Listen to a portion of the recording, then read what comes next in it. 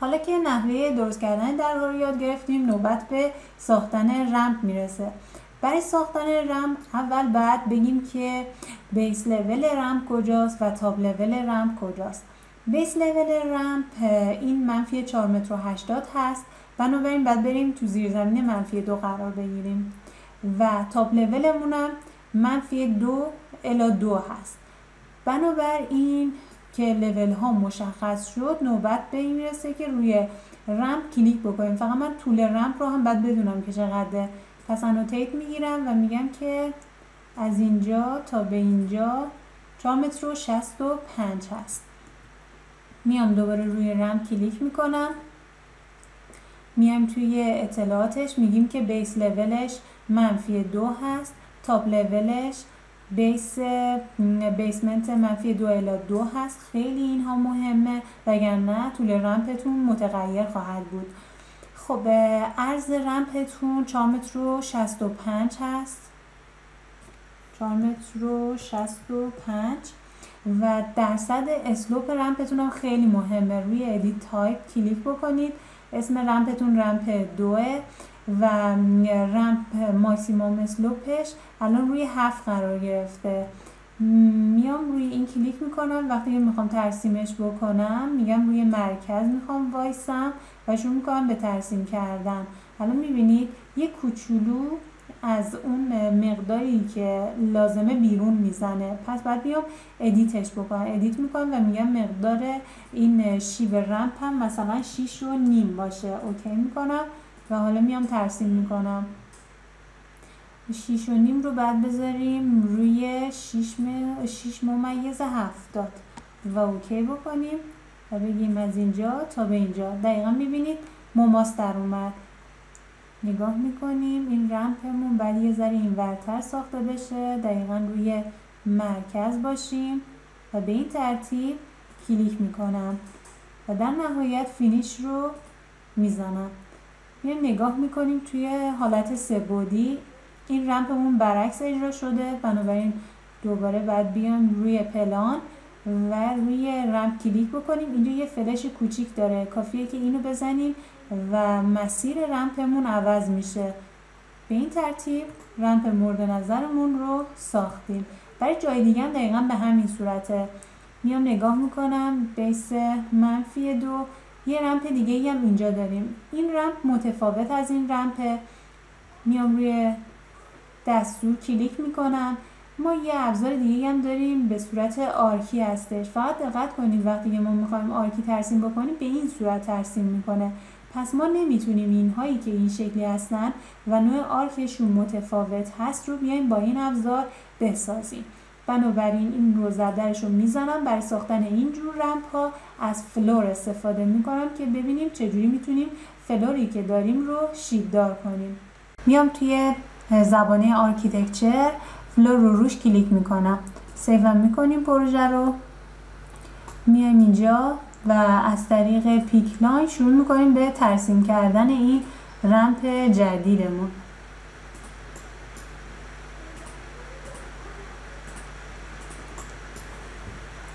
escape رو می‌زنم تا از دستور pick line خارج بشه. یه بار دیگه هم می‌زنیم. حالا انتهای این خط رو میرسونیم به این نقطه. و این رو هم به همین ترتیب میرسونیم به اینجا. و از دستور fillet هم استفاده می‌کنیم تا این گوشه ها رو به هم دیگه برسونیم.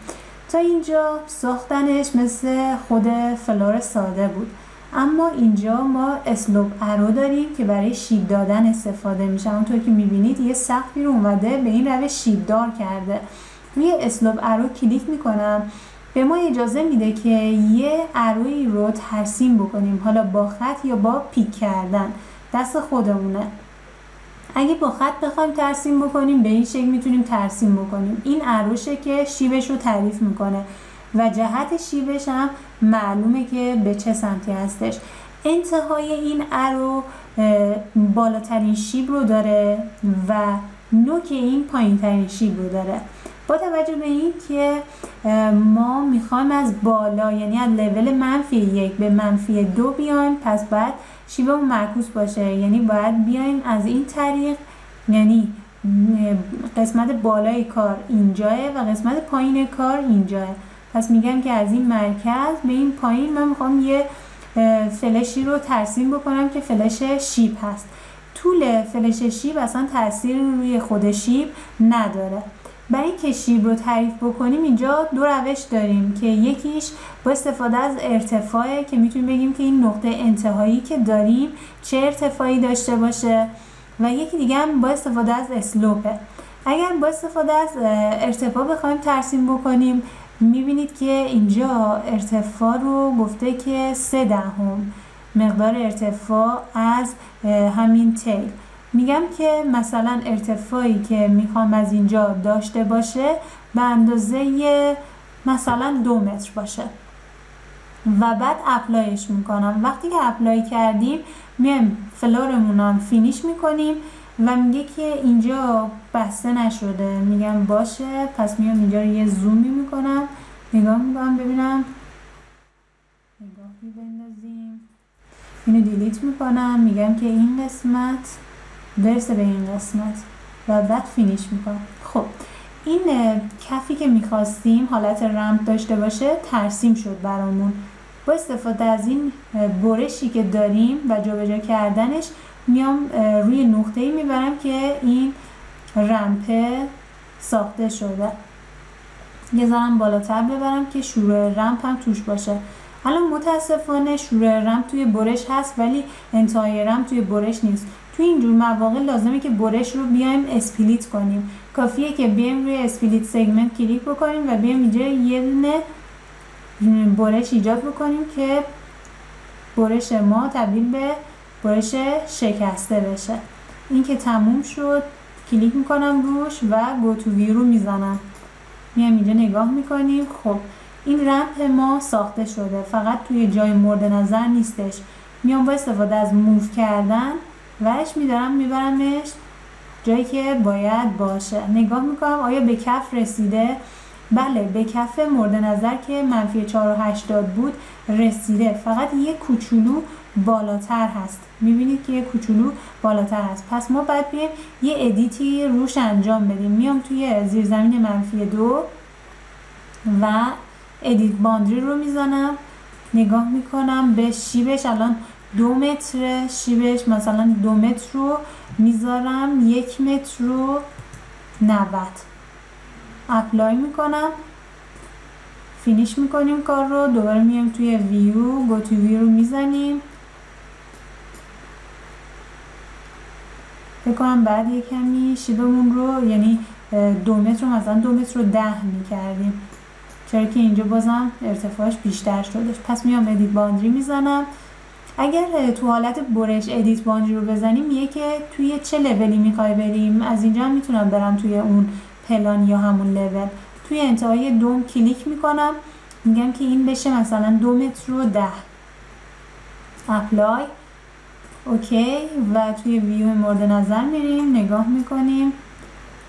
به نظر الان درست شده. کافیه که بیایم اینو انتخاب کنیم مووش کنیم و بیاریمش جایی که باید باشه و پایینش هم نگاه کنیم که دقیقا به کف رسیده باشه. پس برشی که زدیم بهمون کمک کرد تا بتونیم این رمپی که می‌خوایم رو دقیقا سر جای اصلیش قرار بدیم.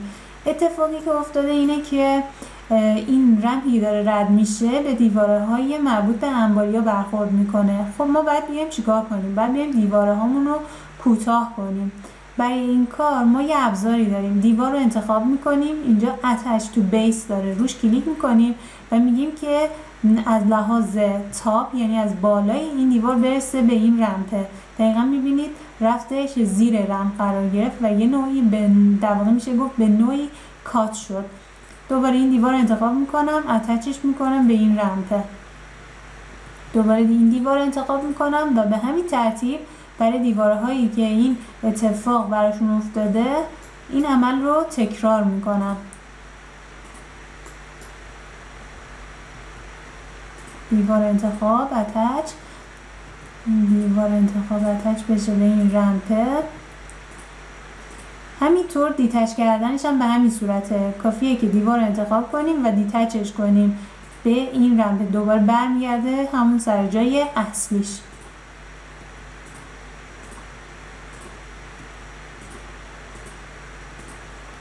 پس رمپمون به درستی اجرا شدش نگاه می‌کنم به کلیت کار. تا به اینجا لول مربوط به زیرزمین رو کامل کردیم. میام توی لول منفی یک قرار می‌گیرم. ببخشید تو لول منفی یک بله. حالا لازمه که برای این هم پلان CAD ش رو وارد بکنم. برای این کار هم میام توی insert import CAD رو می‌زنم و منفی یک رو وارد می‌کنم. متر می‌ذارم. center باشه و فقط توی این ویو این پلان دیده بشه. open می‌کنیم.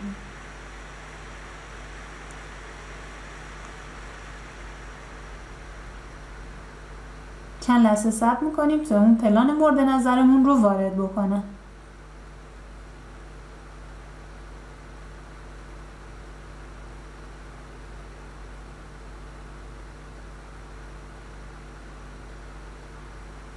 خب پلانمون آورده شد. به این صورت می‌تونیم انتخابش کنیم. بگیم که بیاد فورگراند به این ترتیب روی foreground قرار گرفت و بعد move ش کنم. move ش می‌کنم و میگم که از جایی که کاملا یکسان هستن مثلا این دو قسمت به هم دیگه برسن. چون constraint محدوده داره به این شکل move میشه. خب بعد از اینکه سر جای اصلیش قرار گرفت pin رو می‌زنم. خب پلان منفی یکمون سر جای اصلیش قرار گرفت. میام روی این پلان کف رو ترسیم می‌کنم. میایم توی architecture این بار floor رو می‌زنیم. میگیم که با استفاده از line می‌خوایم کف رو ترسیم کنیم. اینجا اشتباه ترسیم کردم control Z می‌زنم و ادامه میدیم.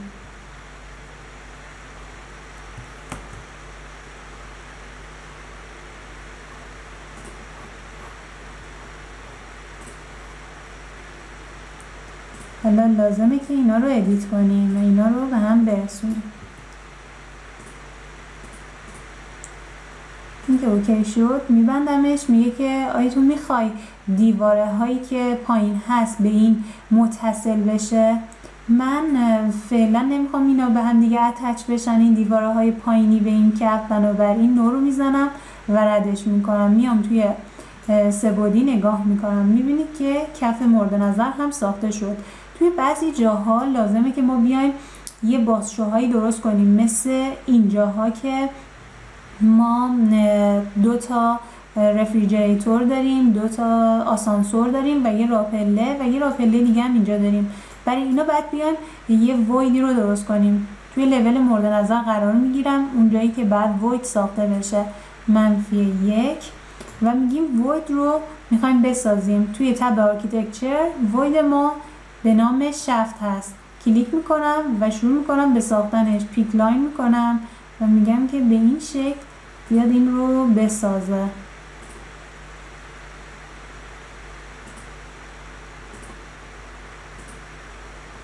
و بعد هم با استفاده از دستور فیلت اینا رو به هم دیگه میرسونیم.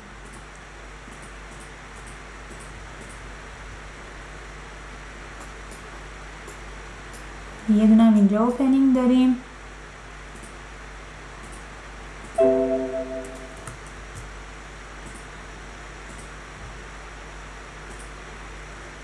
اینجایی که ایراد گرفت رو با خط ترسیم می‌کنم. و در نهایت این نقاط رو هم به هم میرسونیم و اوکیش می‌کنیم. میایم تو حالت سبودی نگاه کنید این قسمت ها باز شد. به این ترتیب. حالا این دیواره ها رو می‌خوام تا مثلا لول منفی یکم ادامه بدم. البته که می‌دونید که این دیواره ها تا typical مون هم بعد ادامه پیدا کنه ولی من ترجیح میدم هر لول رو دونه دونه بهتون نشون بدم. پس دیوار مورد نظر رو انتخاب می‌کنم یا حتی می‌تونیم راست کلیک بکنیم و بیایم اینجا select instance کنیم. select all instance روی چه حالتی؟ visible in view یعنی که اونایی که توی این ویو دیده میشه یا تو کل پروژه. من تو کل پروژه انتخاب می‌کنم. اون دیواره هایی که از این جنس هستن. و میگم که اینجا location line شون که finish face exterior هستش base constraint ش که همون منفی دوه اما top constraint ش رو من می‌خوام از رو حالت منفی یک ببرمش روی ground floor قرار بدم. الان نگاه بکنید سریعا همشون ارتفاعشون زیاد شد و اومد بالاتر. میام روی لول منفی یک قرار می‌گیرم نگاه می‌کنم به پلان کار.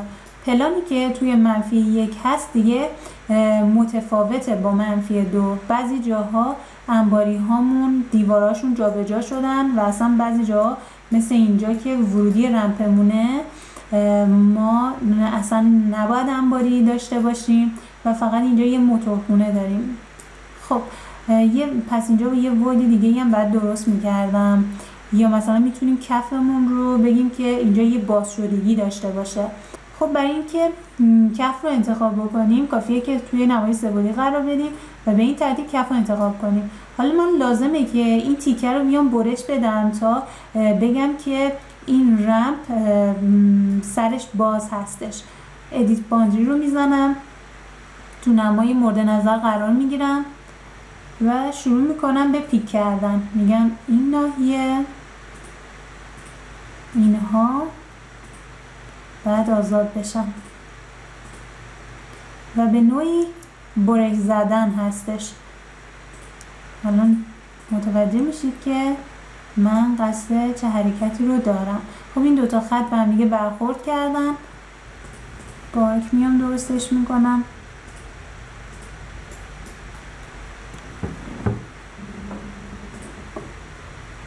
حالا میگه که آیا تو می‌خوای با لول پایینی دیواره لول پایینی یکی بشه میگم نه.